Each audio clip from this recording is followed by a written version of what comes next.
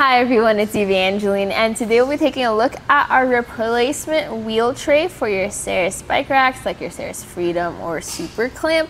And this is going to be the replacement wheel tray B. You've got your bike rack and you're ready for adventures, but maybe over time some wear and tear happens and you need to replace a wheel tray.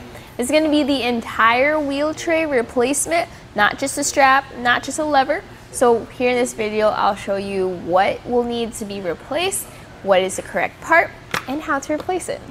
So this is wheel tray B. There's another wheel tray, which is wheel tray A. The B is going to sit on the outside of your bike rack. I have the Saris Super Clamp HD bike rack here, and you can see how this is a direct replacement part made of the exact same material, exact same construction, with the exact same capacities. So the maximum tire width you can carry with this is going to be up to four inches.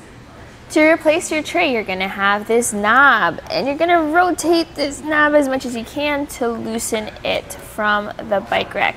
You're gonna have to maneuver right over this button here, so it has to be loose. So there is a nut underneath the tray, so you want to make sure that you don't loosen it too much, or if you do, that you are ready to catch it. Um, you don't need to completely loosen it, just enough to slide it through.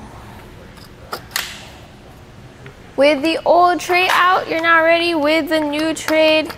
Just slide it through over that button and tighten it back down right where you have your bike's measurement set.